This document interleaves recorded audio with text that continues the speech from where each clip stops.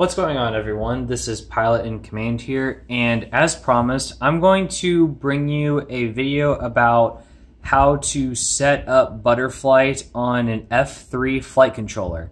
Now, this is not going to be a full, in-depth, um, step-by-step programming guide to Butterflight because it's essentially the exact same as Betaflight, and there's already tons and tons of videos out there about how to set this up. Actually, a really good one that I'll link down in the video description is Joshua Bardwell's um, Ultimate uh, Betaflight 3.3 Setup Guide.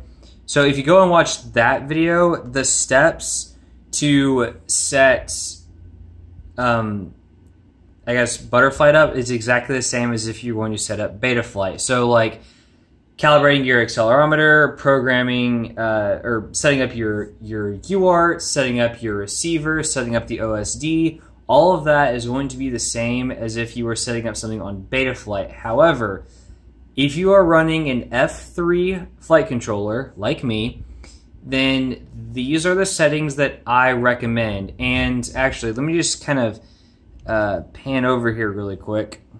This is my rig right here. For those of you who don't know, I do fly an Impulse RC Reverb. However, I am using a lot of components that people would consider to be old. For example, these are the original Emax red bottoms. They are the Emax RS 2205 2300 kV motor. Literally have been on the market for about two and a half, almost three years. This is the TBS flight controller. This, uh, the sorry, this is the TBS Power Cube. The flight controller is an F3 flight controller. I've been running this thing for about seven to eight months now. Uh, these ESCs are about two months old. The power distribution board is is really old. So, how, and this aircraft does have Butterflight on it. So what I'm trying to say is, is that this should work for you because I'm using equipment that's pretty old, and I just flashed this on this guy following the same procedure as if I would set up something on Betaflight and I haven't had any problems. So that being said, let's get started. I'm just gonna run you through this because this is kind of where most of the magic happens. So by default, uh, Butterflight should be set to Quad X. Um, that's just what I run, uh, standard motor configuration. Motor direction is not reversed. For ESCs, I run DShot 600. I just uh, this is just completely stock, uh, nothing really done there. Board alignment's completely stock. However, this is where things get interesting. So, at least the Power Cube's gyro, gyro is, is a MPU 6000 gyro, I think is the correct term. So I can't do 32 kilohertz. And since I'm also running an F3, you want to, if you want to run an F3 and do Butterflight, I recommend going setting your gyro update frequency in PID loop to 4K 4K. That'll keep your CPU load uh, pretty low. Um, and I have not had any problems with this. So going down, uh, this is just FCC call sign. I just check that just because serial based receiver, S bus, and I so I mean all this stuff is pretty standard, same uh, as Betaflight. So in the uh, other features tab here, I have telemetry selected because like because I'm running SmartPort telemetry from my X4R SB. I have air mode selected. I have anti-gravity selected, and I also have the dynamic filter selected. I don't use the D-Shot beacon. This just makes the the D-Shot um, ESC's uh, tone as beeper. I don't use, I haven't set that up yet. Uh, and then this is just also just a beeper calibration for when I want when I want to run a beeper. So that's pretty much it for the uh, configuration page. The the main takeaways from this page, if you're running, uh, for those of you who are running F3 boards, just set them to 4K, 4K uh, for your gyro, 4K for your PID loop, and then if you're running telemetry, that's fine. Go ahead and select this. But the three main ones you want to select are definitely air mode, anti-gravity, and dynamic filter.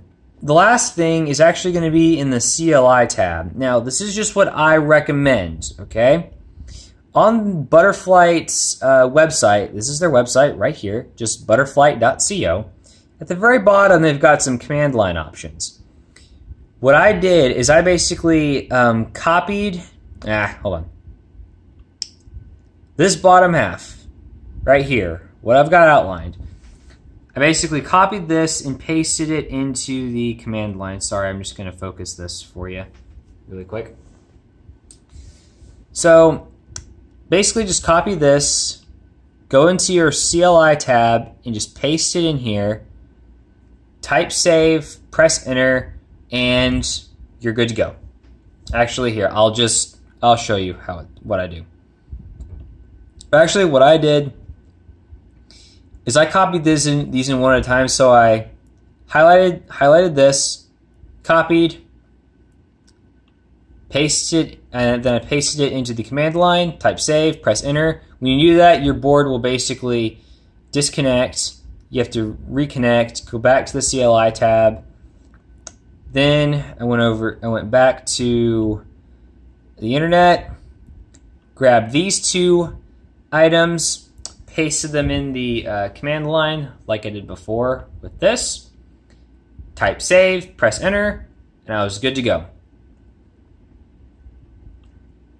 So in closing, I just want to say that the setup that I've just kind of talked about in this video, I have not had a problem with. I've been flying it for pretty much uh, for a good three or four, like three weeks now.